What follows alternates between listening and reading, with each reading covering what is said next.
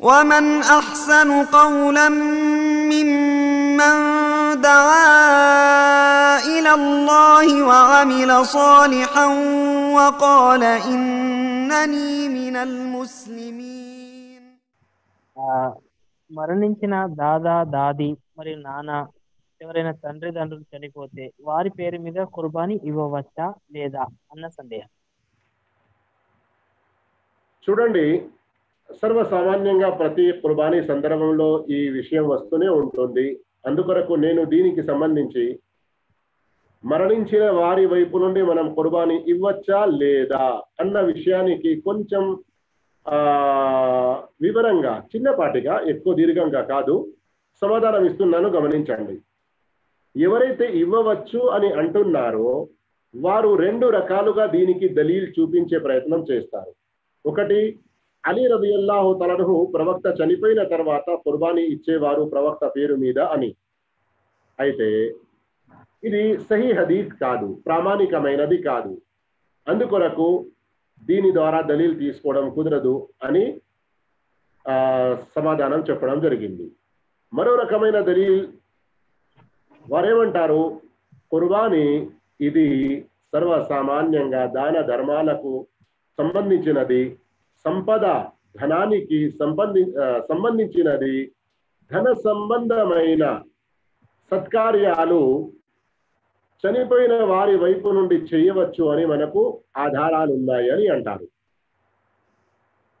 అయితే చనిపోయిన వారి నుండి వారి వైపు నుండి ధన సంబంధమైన సదకా దాన ధర్మాలు చేయవచ్చు అని ఏదైతే ఆధారాలు ఉన్నాయో వాటిలో కుర్బానీ యొక్క ప్రస్తావన లేదు.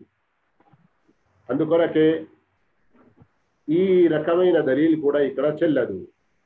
మరియు కుర్బానీ చనిపోయిన వారి వైపు నుండి ఇవ్వకూడదు అన్న మాటనే ప్రాధాన్యతమైనది. దీనికే ప్రియారిటీ లభిస్తుంది. తర్జీహి హైఫియత్ మిల్తీ హై. ఎందుకని? స్వయంగా ప్రవక్త సల్లల్లాహు అలైహి వసల్లం తమ జీవితంలో ఇద్దరు భార్యలు మరియు పెళ్ళి అయిన తర్వాత చనిపోయినటువంటి ముగ్గురు కూతుర్లు ఉన్నారు ప్రతి మనిషికి అతి దగ్గరి సంబంధికులు కదా వీరు. అయితే ప్రవక్త సల్లల్లాహు అలీ వసల్లం వారిలో ఏ ఒక్కరి వైపు నుండైనా కానీ కుర్బానీ చేసినట్లు ఎక్కడా రుజువు లేదు. గమనించండి మీరు కుర్బానీకి సంబంధించిన చిన్న తెలుగులో నా యొక్క పీడిఎఫ్ కూడా ఉన్నది. దాన్ని మీరు తప్పకుండా చదివే ప్రయత్నం చేయండి. ఎక్కువ లేదు చిన్న పాటి చిన్నగానే ఉంది. మరి ఎవరికైనా ఎవరి వద్దనైనా అది లేకుంటే మీరు మా వాట్సాప్ నంబర్కి మెసేజ్ చేసి తప్పకుండా ఆ పీడిఎఫ్ను పొందవచ్చు. ఒకవేళ మిత్రులు ఎవరైనా దాని యొక్క లింక్ వేయగలిగితే కూడా అల్హమ్దుల్లా చాలా సంతోష విషయం. అటు యూట్యూబ్లో మరి అలాగే ఇక్కడ చాట్లో కూడా. చదవండి అక్కడ ఎన్నో ఆధారాలు ఇవ్వడం జరిగాయి. ప్రవక్త సల్లల్లాహు అలీ వసల్లం కొన్ని సందర్భాలలో కొన్ని సంవత్సరాలలో కుర్బానీ యొక్క జంతువులు ప్రజలలో బీద వాళ్ళలో పంచిపెట్టారు. ప్రవక్త సల్లల్లాహు వసల్లం పంచిపెట్టారు. ఎందుకు ప్రజలు కుర్బానీ ఇచ్చుకోవాలి అని?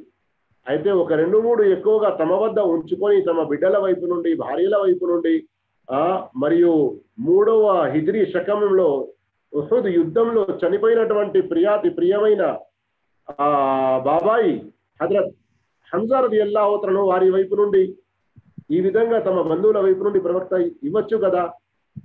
ఇచ్చే అటువంటి అవకాశం ఉండి కూడా ప్రవక్త కుర్బానీ చనిపోయిన వారి వైపు నుండి ఇవ్వలేదు గనక కుర్బానీ వారి వైపు నుండి ఇవ్వకపోవడమే అసలైన సున్నత్ అని తెలుస్తుంది. మరో విషయం గమనించండి. స్వయంగా ప్రవక్త సల్లల్లాహు అలైహి వసల్లం వారి ద్వారా మనకు ఆధారం కనబడుతుంది. ఏంటి? కుర్బానీ ఇస్తున్న వ్యక్తి కుర్బానీ ఇస్తూ ఓ అల్లా ఇంటి యొక్క యజమాని కుర్బానీ ఇస్తున్నాడు. బిస్మిల్లా అల్లాహు అక్బర్.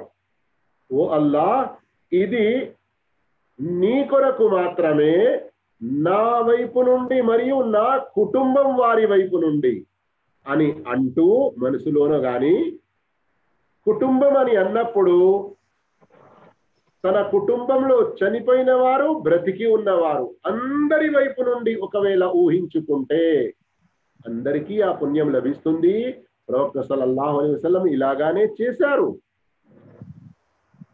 ఒక విషయం మీరు గమనించండి. ప్రవక్త సల్లల్లాహు అలైహి వసల్లం ఖదీజా రదియల్లాహు తరణ చనిపోయిన తర్వాత కూడా ఎంతగా ఖదీజా రదియల్లాహు తనహా వారిని గుర్తు గుర్తు చేసుకుంటూ ఉండేవారు.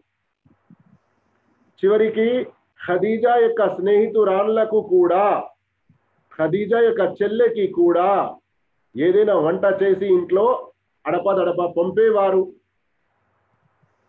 ఆయిషా రదియల్లాహు తనహ ముందు ఖదీజా రదియల్లాహు తన ప్రస్తావన ఎక్కువ వస్తూ ఉండేది. కానీ ప్రొఫెసర్ అసలం అంతటి ప్రియాతి ప్రియమైన భార్య ఖదీజా రదియల్లాహు అవుతున్న వారి వైపు నుండి కూడా ఆమె చనిపోయిన తర్వాత కుర్బానీ చేసినటువంటి రుజువు లేదు. అందుకొరకు సోదర మహాశివులారా ఇలాంటి విషయాలు ఎన్నో మనం చూసుకుంటే చనిపోయిన త- వైపు నుండి కుర్బానీ ఇవ్వడం అనేది సరి అయిన విషయం కాదు అనే తెలుస్తుంది.